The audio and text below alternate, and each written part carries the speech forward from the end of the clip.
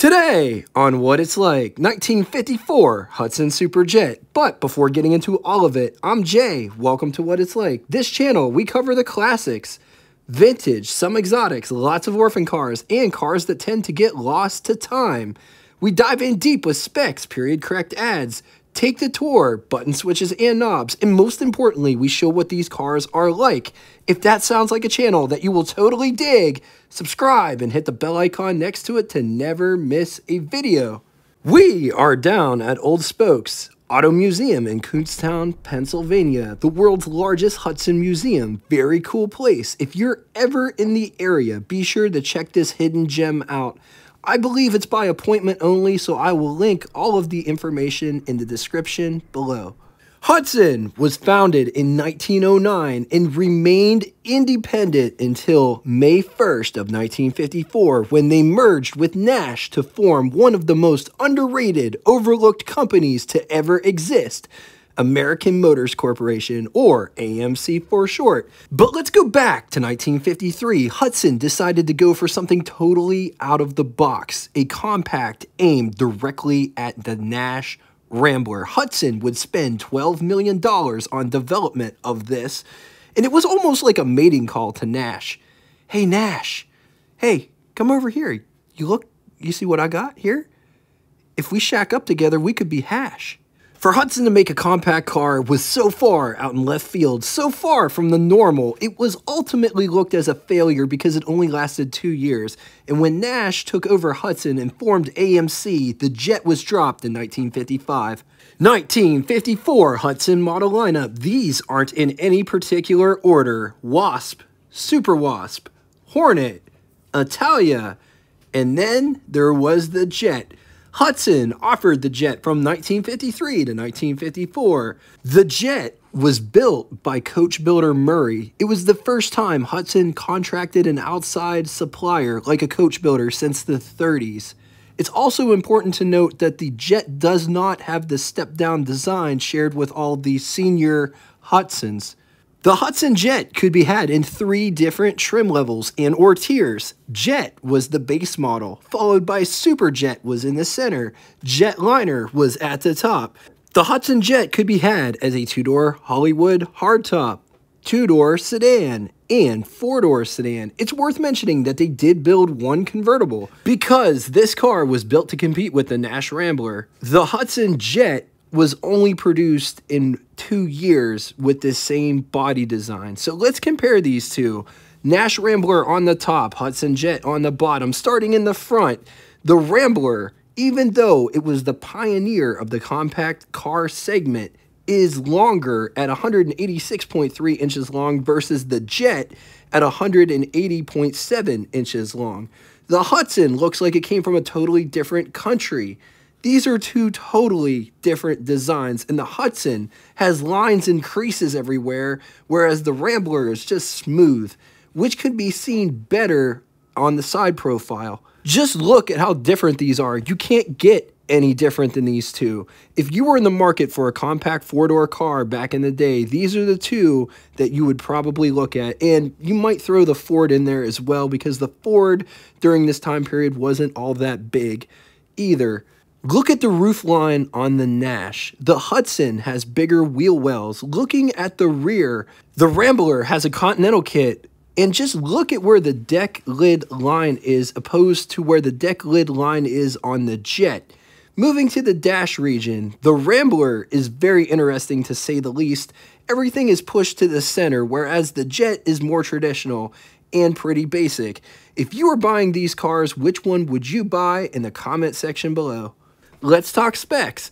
180.7 inches long, 67 inches wide, 62.8 inches tall. It rides a wheelbase of 105 inches. It weighs 2,650 pounds. Price $1,954, which is equivalent to you spending $29,852.84 in the year 2023. That is equivalent to buying a brand new 2023 Toyota Corolla today. Total, this is the total run of Hudson Jets was 35,367 units produced. Moving on to engine, only one engine on offer, 202 cubic inch displacement, inline 6, 3.3 liters. It's good for 104 brake horsepower, 4,000 RPM, 158 pound-feet of torque at 1,400 RPM. Compression, 7.5 to 1, 4 main bearings. The block is made out of a chrome alloy, has solid lifters, when mated to a three-speed manual transmission, 0 to 60 could be had in 14.6 seconds. Theoretical top speed, 82 miles per hour. Average fuel consumption, 15 miles to the gallon. Three transmissions on offer, three-speed manual, three-speed manual with overdrive, four-speed automatic Hydra-Matic. All right, let's talk styling. Check out the front end design. Doesn't that look so cool? turn signals here. I love the headlight bezels. And this looks like a hood scoop, but it's not. Let's look at all the lines that are going on. Bit of a valley here. It goes up. It runs down the length of the car. It's very smooth. There isn't any lines in the hood aside from these lines here. It's got the cow hood vent, which is my favorite feature that they don't put on cars anymore.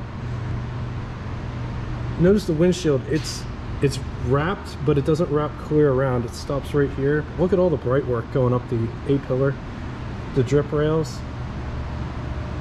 There's a lot of chrome on this car, a lot of bright work. All the doors are running chrome coming back to the front check out this line here and it goes clear out the back notice the wheel wells are slightly flared outward look at that flare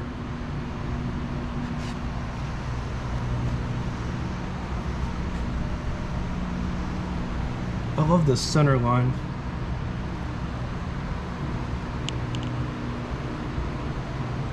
It's got a wraparound back glass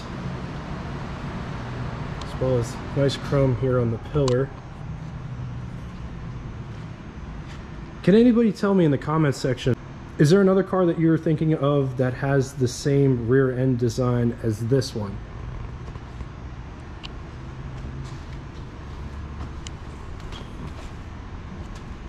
It's not a hundred, it's, it's not exactly the same, but it's very reminiscent of fill in the blank in the comment section below. Look at all this trim work here. Backup lights. Gas door. So just take a gander at this door panel on all the different materials going on. Look at how this armrest comes out. Very Chrysler-esque. Door handle, window crank for the big window vent windows. Take a look at this interior. For a compact car, there sure is or seems to be a lot of room in there. And check out the back seat. How much space you have for your feet. On to the button switches and knobs, starting on the left and moving right. I apologize, these shots aren't up to my standards, but I couldn't get in this car, which was a total bummer oil pressure, which is in the form of an idiot light, gasoline gauge, weather eye climate controls just below, speedometer, odometer inside of it, coolant temperature, amp meter, which is also an idiot light. Overdrive pullout is just at the bottom of the steering wheel. Headlights, ignition, wipers with the windshield washer feature in the center, lighter, radio, ashtray. So just take a quick gander at this engine compartment single carburetor there. That glass jar is for the windshield washer fluid to go into. Flathead 6, 202 cubic inch displacement. Notice the oil filter on the side of the block there. On the positive side, good quality, decent performance, excellent roadability. Against it, dull, barren interior, rust prone. All right, now it's time for Would You Rather, steak or chicken, paper or plastic. Two scenarios today. In the first scenario, 1953, Kaiser Henry J, or 1954, Hudson Jet, or 1954 Nash Rambler. I'm going to leave this here for a minute. If you need more time, feel free to pause the video. Moving on to the second scenario, completely random. 1957 Studebaker Golden Hawk, or 1957 Dual Ghia, or 1957 Rambler Rebel. All right, moving on to name that tune. First person to give me both the correct name of the band and song title in the comment section is the key word correctly will have their comment pinned to the top of the comment section. If you'd like to get in touch with me, shoot me a comment in the comment section below or check out our Facebook group that correlates with this YouTube channel. That is honestly the easiest way to get in touch with me is find me on Facebook, shoot me a message on there. If you don't have Facebook, shoot me an email. All of that information will be linked in the description below. Just know I appreciate all of the support. And until next time, we generally have scenes for our next episode. I'm not sure if we're going to do a discussion episode or if we're going to actually do an episode or when the next episode is going to be. It will either be tomorrow or it might be Sunday. Until then, toodaloo!